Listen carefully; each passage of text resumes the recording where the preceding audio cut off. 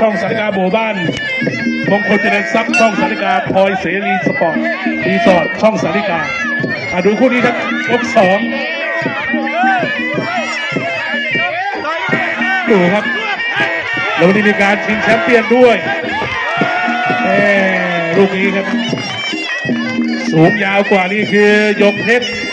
ส่วนน้ำเงินเพชรมรกตมาทรงเดียวกับเจ้าน้องใหม่เพชรจินดาเลยครับ เจ้าเพชรมรกตเอาขวาไปแต่ว่าโดนหมัดแล้วล้มไปครับ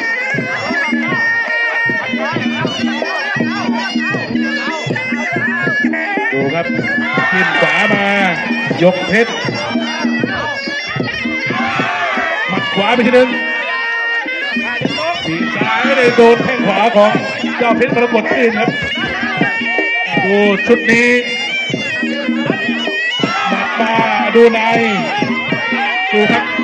ดูในไล่แขนแล้วเสียบซ้าย โอ้ขวามา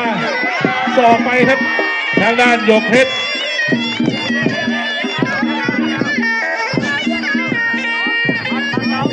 ยกเพชรเดินเข้าหาทีบซ้ายไปทีหนึ่งกรรมการชี้ขาดก็เป็นอาจารย์นรงสุนาวีครับ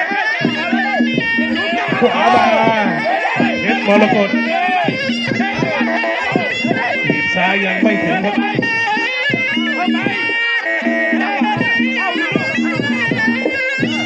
ดูครับขาไปยกเพชรแม่ล้มอีกแล้วครับ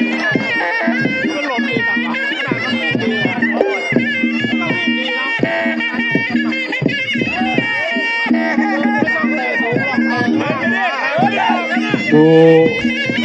ก่อนเวลาไปห้าหกคู่ แล้วแฟนมวยจะได้ดูชุดเดิมพันแน่นทั้งรายการครับแข้งขวาไปเพชรมรกตมาดูในตีขวาไปครับยกเพชรหมดยกสองครับ